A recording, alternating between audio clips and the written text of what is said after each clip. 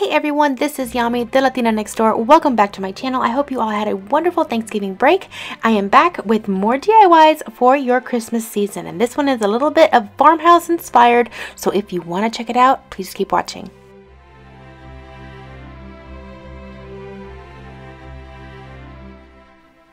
Alright, for this project you're going to need one black felt sheet that you can get at your local Hobby Lobby for 25 cents when they go on sale. These cute little wooden dowels that I got from Dollar Tree and you guys know I love dowels so I had another one that was a quarter of an inch that I already had on hand from another project and that's what you'll need for this project. Now you will end up using all of the dowels in that package, but they were a little bit too long so I had to put them all together and figure out how much I wanted to take off. I ended up taking two and a quarter inches off each of the dowels. And in order to cut these dowels, I use my mini miter box saw kit. It is so cute, you guys. But you guys know I love dowels, so this actually comes really in handy for me.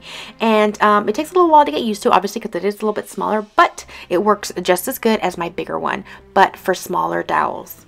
I'll make sure to leave a link in the description box below to this exact one. Then I cut out small rectangles from that black felt and I started wrapping each of the dowels with that black felt using my hot glue gun.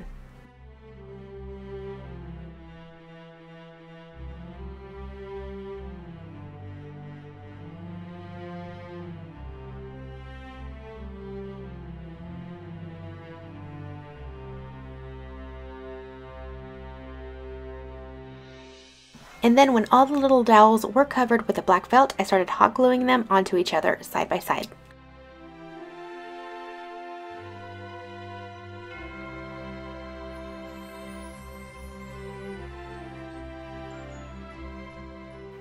Okay, so then it was time to build the frame and I used the quarter inch square dowel to do this. I cut two of the pieces in five inches and the other two pieces in four and a quarter inches to fit around. And I basically just assembled it like I did my little wooden farmhouse sign ornaments. Now, you can choose to stain the dowel if you want, but I personally thought it was fine just the way it was. And then I just covered the back of the little sign with some leftover poster board that I had on hand.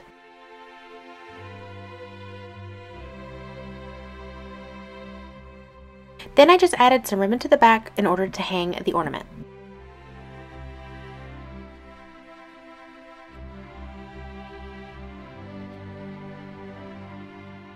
Then I had some buffalo check ribbon left over from my little Christmas trees that I made and I decided to make a little bow and add it to the front.